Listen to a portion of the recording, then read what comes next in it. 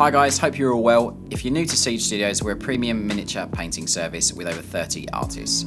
Here at Siege, we offer four painting levels ranging from our bronze, premium gaming quality up to our platinum competition standard.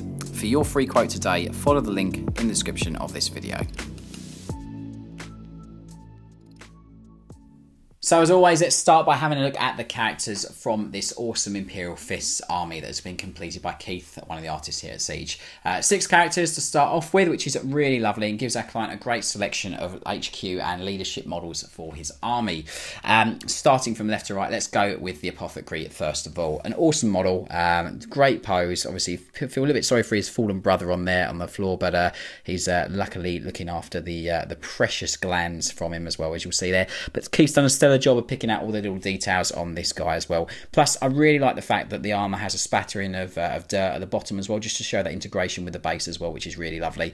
All the little details fully painted throughout the model, lenses, gems, purity seals, uh, little blip markers on the screens and things. Everything is done to a very, very high standard, which is lovely. Um, obviously got a little sheen on the on the lens as well on the fallen brother as well which i really do like on his uh, on his helmet lens as well.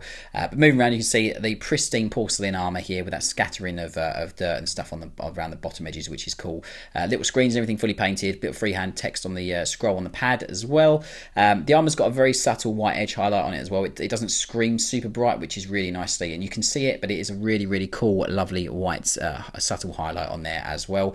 I like the contrasting red robes as well. I think it just adds a lovely amount of uh, warmth to the model, which is uh, is obviously very much needed on that cool white. Um, obviously, got the transfers added to these models as well. You'll see those across the force, uh, but again, all the skin tone, eyes, and everything all fully painted through various stages of highlighting, the vials and everything with point of light source, catch light, and blending done in them. Um, but a lovely, lovely, super clean finish on this apothecary. So that's just him. We'll pull forward the uh, lieutenant as well to show you obviously the first of the uh, yellow sort of character marines, which is really cool. Uh, transfers and everything, you just see all the little screens and dials and buttons all done there. All super, super finely edge highlighted. Multiple stages of highlighting on all the detail works. Armor's obviously got various stages of highlighting as well. Um, purity seals all with text on there, as you'll see. The free-handed lieutenant marking on the helmet, and obviously transfers added to him as well. I do really like the texture that's been done on the pouch of the of the pistol as well, which is really cool. And you'll see that across all the leather work across the um, force. Lovely little uh, tattoo on the side of his head as well, and all the eyes and teeth and everything all fully painted there, as you'll see. So that's just the lieutenant. Next up, we have the Imperial Fist character, Tor Garadon. Really, really cool miniature. Very stoic, very much imposing. Uh, fits Imperial Fists extremely well uh, and Keith's done a great job of portraying him here in his really, really Baroque armour as well. You can see all the text and everything done there on the purity seals, all the multiple areas of highlighting through the armour panels, all the little details, the leather work with some scratches and nicks on it. You've got obviously his gauntlets kind of screen thing here with all that sort of uh, detail work done on it, blips and markers, um, all the eyes and teeth and everything fully painted uh, and I, I like the fact that, that, the lenses are done that in a complementary blue as well, so they do really stand out compared to the armor. Uh, move around the back, you can see the, all the gumph and gizmos that he's got linked up to his grav weapon and also the uh, the power fist that he's got there, or the massive fist that he's got with this massive, huge sort of cabling that's there as well. Lovely sort of texture work done on the cloth as well, just to show that it's a different material to his armor as well, which is really nice. do like the inside contrast in black, it really makes that inner cloak stand out, which is lovely. Uh, and this is this awesome, awesome Imperial Fist bespoke character. Uh, love the fact he's got his leg raised. He just looks super, super nails, and uh, you wouldn't want to mess with him. So that's uh, Tor Garadon. Really, really cool miniature. Uh, next up, we have the uh, very imposing uh, chaplain from the Force. Um, I like that the, the cloak is a very dark, dark, deep brown as well. You, you, on camera, it looks almost black, but in real life, it's a very, very dark, deep brown with that subtle texture effect applied all over it. So it shows that it's leather work. All the scrolls and everything fully done there, as you'll see. Love the fact that the uh, eye lenses are done in a nice green to really make them stand out against the bone and the, and the dark sort of robe work that's been done. A little bit of freehand there on the scroll, on this pad. Uh, love the red casing as well, just really, really makes the weapon stand out compared to the rest of the miniature, which is great. Uh, book, as you'll see there, with a lovely hide done in it, a nice scratch work all done on there as well.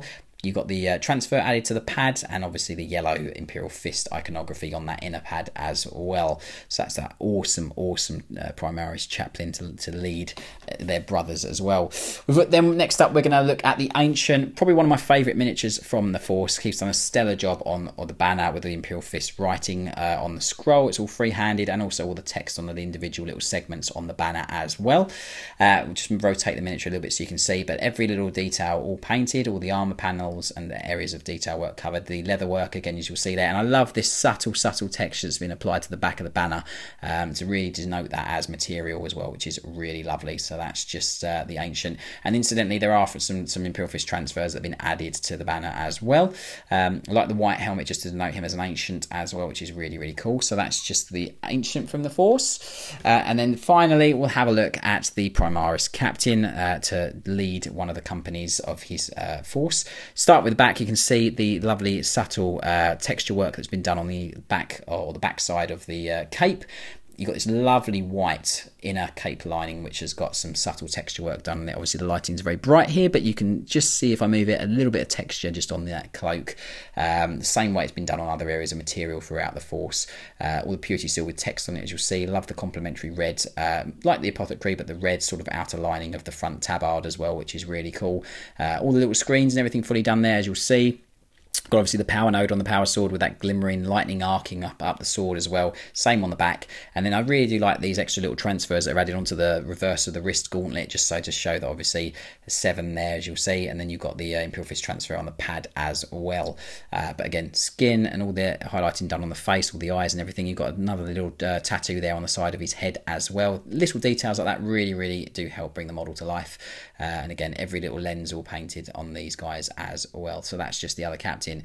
There's all the characters from the Force, guys. Uh, we're going to come back in a second and have a look at all the infantry. We've got loads of intercessors and some lovely aggressors to follow up and be led by these awesome chaps that you've just seen.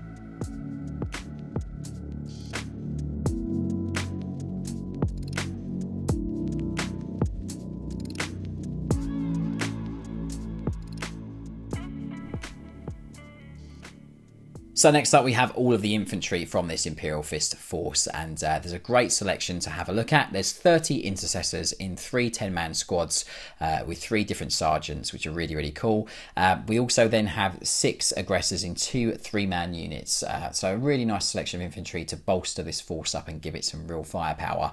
Uh, let's dive in and have a look at them. We'll start by having a look at the individual intercessor squads. I'll pull forward some of the sergeants first because I do really like what um, what Keith has done with the units as well. So again you can see that really pristine finish across all of these miniatures, all the transfers and everything fully added. I love the wood stocks on the bolt guns as well. I think that's a really, really cool way of doing it. Blue lenses, again, as you'll see across the force, just to really make those stand out and complement. Uh, and what you'll notice on the back of the uh, back of the, the backpack, there's a little transfer in the center of that round nodule on the back of the backpack. Uh, and each squad has got a different transfer in that location so that visually, from a gaming perspective, you can tell which miniatures go with which squads. Uh, now, all of the miniatures are consistent, so you could theoretically mix up these all these Marines into different squads if you wanted to, but just a little bit of uh, a bit of narrative. They, have all got their own squad marking, which is that marking there, as you'll see. Uh, and Keith's done a great job of picking out all those little details across the facial features, the eyes, the teeth, the scars on this chap specifically. Uh, but everything has got a very, very nice selection of highlighting done across it. We'll pull forward a couple more of the uh, Primaris intercessors just from that squad so you can see those again. The lens is all done there. And again, if you look at the backpack, it's got the same squad marking on that uh, mark area of the pack. So that again, you can you know determine which squad this uh, this squad is. Uh, that one's obviously got a fist there. There's other ones that have got different symbols, and I'll show you those as we go through. So that's just another one of the intercessors. All the lenses done there with point of light source and a catch light and then a lighter uh, colours added to add that sheen to the lenses as well, which is really lovely. Uh, you've got that tactical symbol just free-handed onto all the pads as well. Uh, pull forward another one from that same squad so you can see the consistency from miniature to miniature. Again, there's that transfer on the backpack.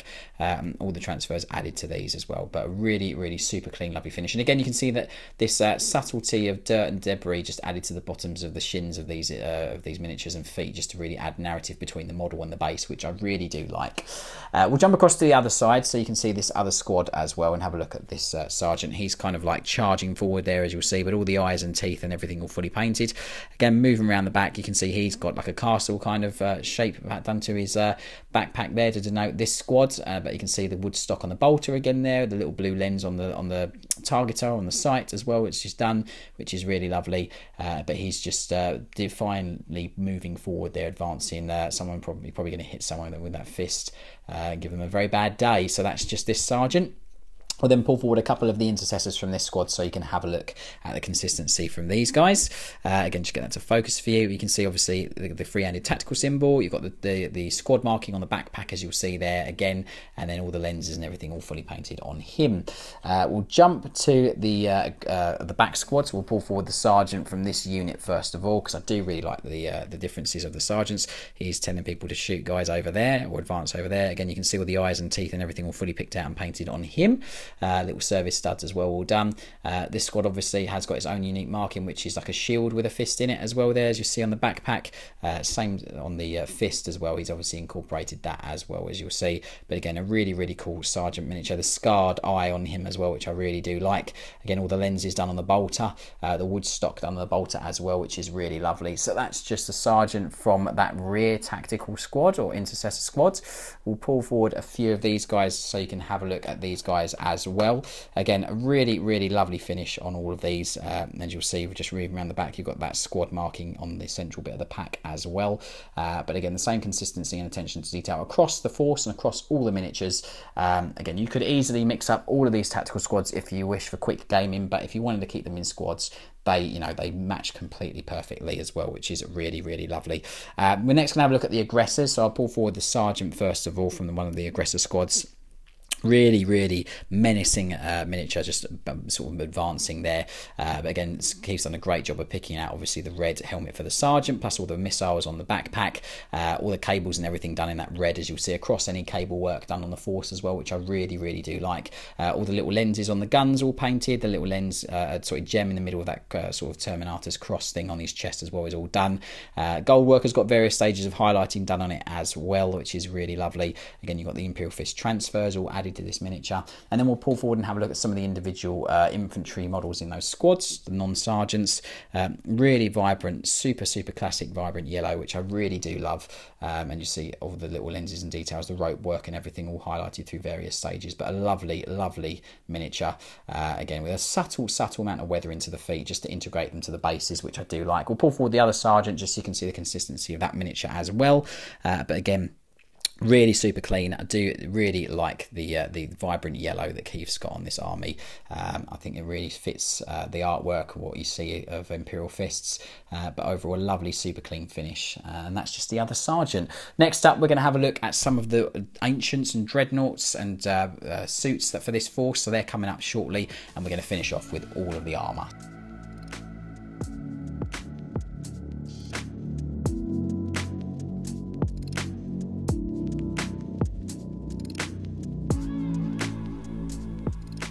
So, following up from all those infantry, we have some walking behemoths. We've got these awesome, awesome dreadnoughts and uh, Invicta war suits. Uh, right from the get go, you've got, obviously got the Leviathan in the middle. Probably one of my favourite Forge World dreadnoughts, if I'm honest with you. Uh, and then also the brand new Invicta war suit kits. I say brand new, they've been out quite some time, but um, it's been a pleasure to work on some of these new kits uh, for our client. So, let's start from left to right. Start with the first Invicta war suit. Again, a really, really cool uh, miniature. Loads of detail details you'd expect with any of these new Primaris models. And you'll see a little bit of a conversion that's been done here. He's been given a knife in his power fist. Um, again, that's just a, a, weapon from a custodian kit, but a really, really cool little addition there just to uh, just to make him look like he's got a knife, which is cool. Um, obviously, he's got this holstered uh, heavy bolter here, as you'll see. Um, you got the Imperial Fist transfers that have been added to these miniatures as per our client request.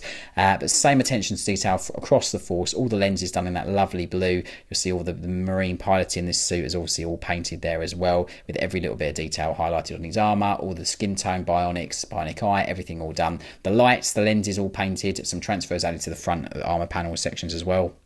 Obviously, got the uh, weapons all highlighted, all the casings and now the shields work and done those complementary black as well to the metal work to make those areas stand out. I love that the metal work on this guy is a bit bitty and grainy, some scratches and streaks and bits added to it to really break it up and add interest to it. You've got the Mechanicus symbol there painted in that half scheme, really, really super clean. Uh, but overall, a lovely, lovely miniature uh, and a lot of attention to detail has been invested in this guy as well as you can see. So that's just the first of the two Invicta War suits. We will have a look at the other one, but um, we'll jump onto one of my my favourite models, which is this awesome Leviathan Dreadnought. Um, absolutely brilliant. We've got the Siege Claw and we've also got this uh, Melter Lance. And you can see all the attention to detail added. Now, if you just look in between those barrels and if I get the light to shine a bit better, you will see the little targeting lens in the middle of that Melter Lance has also been painted uh, just to show that what you can actually see what he's shooting, which is really cool. Uh, just little bits of attention to detail like that really adds so much to the model. Again, you can see all the transfers added to the sarcophagus, the legs, and also on the side of the feet in some areas. Again, we've got that lovely spattering of dirt at the bottom of the feet just to integrate the model uh, to the base, which I think is a really nice little touch. Uh, moving around, love the red cabling on this guy as well to just denote those power cables. And you can see the super, super, super sharp, clean finish that's been applied across this model and across the force, and hopefully all the miniatures that you see obviously in the showcase. Uh, really, really do like the uh, the traditional sort of uh, red and yellow uh, head on this guy as well. I just think it really, really makes the model and centers the eye on that um, on that head. You can see the eye there as well in that complementary blue lens on him as well, which is really cool. Uh, so that's just this awesome Leviathan Dreadnought with a great loadout as well and then go back to the final Invicta out of the two. Uh, same as the previous model in the sense of the consistency and quality of the miniature, except this guy's arm actually holding his heavy bolter hasn't got some, a little knife. Uh, again, just with a flame weapon there, as you'll see, as opposed to the uh, the autocannon version. Uh, moving around, just so you can see the consistency across the miniature compared to the other one. The same super sharp highlighting throughout and all the areas of detail work. Again, you've got this lovely subtle chipping and dirt effects on the bottom of the feet just to integrate the model to the base. Uh, and I do really like like how the missiles in on the top of the of the uh, dreadnought have also got obviously that white warhead just to make those stand out in the launcher, which I think is quite cool. Uh, he's obviously not got a bare head, but uh, again, his lenses and everything are all done on the pilot, as you'll see there as well. So this just is awesome, awesome Invicta warsuit, and that's the three walkers or dreadnoughts or warsuits from this force, guys. Uh, in the final section, we're going to have a look at all the heavy hitting stuff for this force. We've got some awesome miniatures coming up, so do not miss those.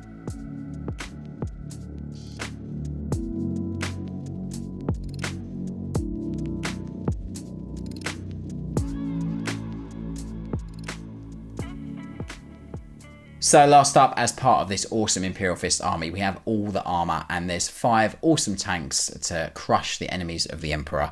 Uh, three Predators, uh, a Sicaran Punisher, and also a Whirlwind Scorpius. Uh, really, really awesome selection of models. Two Forge World models, and then three regular GW plastic models. Um, the three Predators are exactly the same. There's uh, no real distinction between them other than being uh, a little bit different in the sense of coloration in some areas. Um, but really, really cool set of models. Let's pull forward the Predator to start start off with. Uh, and again, He's done a great job of picking out all the little details across uh, these miniatures.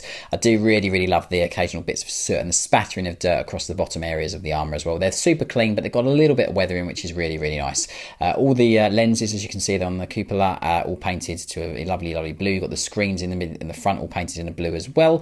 Uh, all the little lights and details all painted and highlighted, uh, which is really, really lovely. And again, you've got all the cabling done in a red. You'll see across the force. I do really love this front red quarter as well, just to denote this tank, which I think is really lovely. And that line obviously just free-handed on there, as you'll see. Uh, transfers all added to it as well. All three Predators uh, having these markings as well, which is really, really cool. Uh, so that's just the three Predators from the Force. I can pull forward the other ones, you know, but uh, they are very much the same. So that's just the first of the three. We'll then have a look at the awesome Sicaran Punisher with the ridiculous uh, weapon that it's got. Uh, really cool, multi-barreled, essentially a huge, huge assault cannon.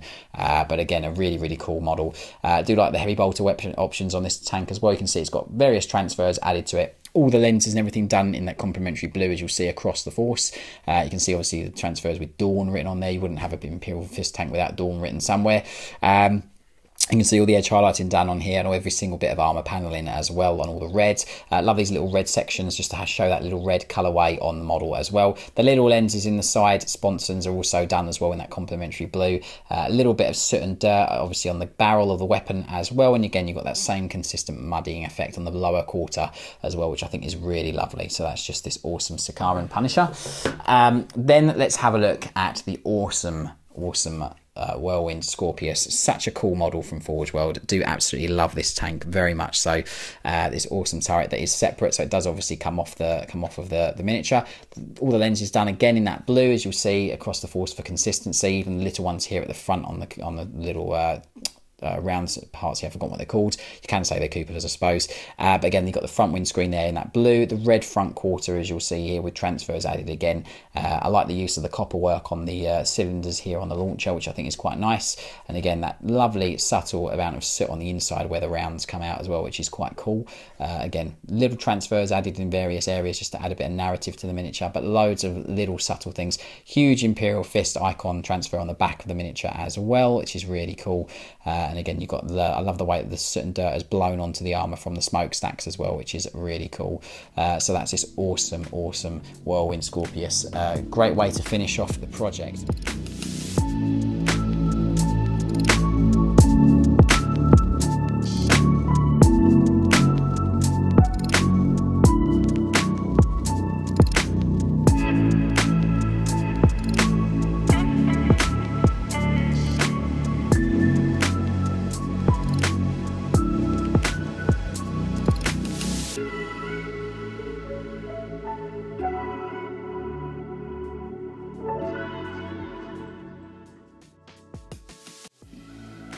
So thanks for watching the video guys, I hope that you have enjoyed it. While you're here on YouTube, help us out by subscribing to the Siege channel. We upload at least three videos a week, so make sure you hit that bell icon to be notified when a new video is live. To see more, go follow us on our other social media where you can keep up to date with what we get up to and interact with us. If you're looking to learn from us, we offer online tuition on Patreon and physical classes nationally in the UK. Finally, to get your free quote today, click the link in the description of this video. From all the team here at Siege and myself, a massive thank you for watching the video, and I'll see you on the next one. Take care.